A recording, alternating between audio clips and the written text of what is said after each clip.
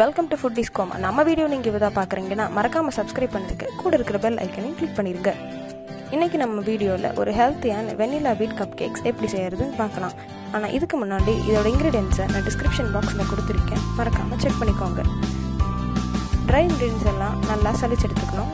ஒரு மிக்சிங் பவுலில் முதல்ல ஒரு முட்டையை உடச்சி ஊற்றி அது கூட அரை கப் பவுடர் சுகர் அதையும் ஆட் பண்ணி ஒரு ஹேண்ட் பீட்டர் இல்லைன்னா விஸ்க் வச்சு நல்லா விஸ்க் பண்ணிக்கோங்க.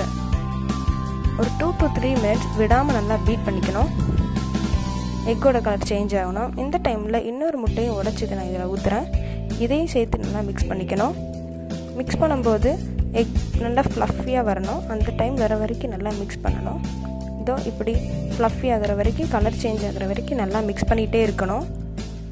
இந்த டைமில் நான் one teaspoon vanilla essence add பண்ணுறேன் வெனிலா எசன்ஸ் ஆட் பண்ணும்போது முட்டையோட ஸ்மெல் எடுத்துகிட்டு நம்ம சாப்பிடும்போது ஒரு நல்ல ஃப்ளேவரை கொடுக்கும். அதுக்காக தான் நான் இதை நான் ஆட் பண்ணுறேன் இதையும் சேர்த்து நல்லா நம்ம பீட் பண்ணணும். விடாமல் ஒரு டூ மினிட்ஸ் நல்லா பீட் பண்ணிகிட்டே இருக்கணும். பீட் பண்ண பீட் பண்ண எக்கோட கலர் சேஞ்ச் ஆகணும். அது நம்ம பீட் பண்ணும்போதே தெரியும். அந்த எக் வந்து ஃப்ளஃபி ஆகிறது எக் எவ்வளோ ஃப்ளஃபி ஆகுனா தான் கேக் சாப்பிட்றதுக்கு நல்லா சாஃப்டாக இருக்கும். ஸ்பாஞ்சியாக இருக்கும். இது கூட நான் கால் கப் சன்ஃப்ளவர் ஆயில் ஆட் பண்ணுறேன் நீங்கள் வேணும்னா கால் கப் மெல்டட் பட்டர் கூட ஆட் பண்ணிக்கலாம்.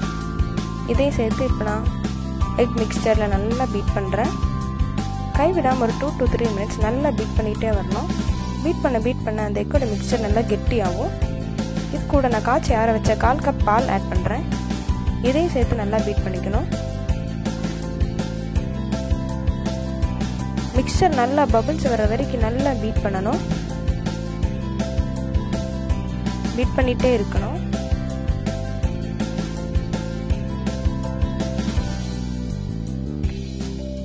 நம்ம லிக்விட் ரெடி ஆயிடுச்சு இதில் பீட்டர் யூஸ் பண்ணாமல் நம்ம ட்ரை இன்க்ரீடியன்ஸை ஒரு ஸ்பேட்டுலா இல்லைனா ஸ்பூன் வச்சு கட் அண்ட் ஃபுல் மெத்தடில் மிக்ஸ் பண்ணி எடுத்துக்கணும்.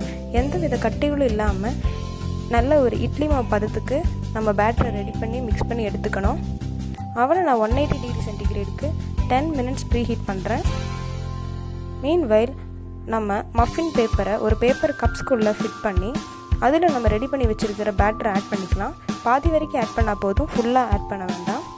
இதே மாதிரி எவ்வளோ பேட்டர் வருதோ அது எல்லாத்தையும் கப்ஸில் நம்ம ஊற்றி இதுக்கு மேலே நான் இன்றைக்கி சாப்டு கேஷ்யூ நட்ஸ் ஆட் பண்ணியிருக்கேன் இந்த கேஷ்யூ நட்ஸ் வந்து ஒரு நல்ல ஃப்ளேவர் தரும். கேஷ்யூ நட்ஸ் இல்லாட்டி நீங்கள் வேறு எந்த வித நட்ஸ் கூட ஆட் பண்ணிக்கலாம் உங்கள் விருப்பம் தான் நல்லா பொடிச்சு ஆட் பண்ணிக்கோங்க. இப்போ இது எல்லாத்தையும் நான் ஒரு மஃப் பிஸ்கட் ட்ரேயில் வச்சு ப்ரீ ஹீட்டான அவனில் உள்ளே வைக்கிறேன்.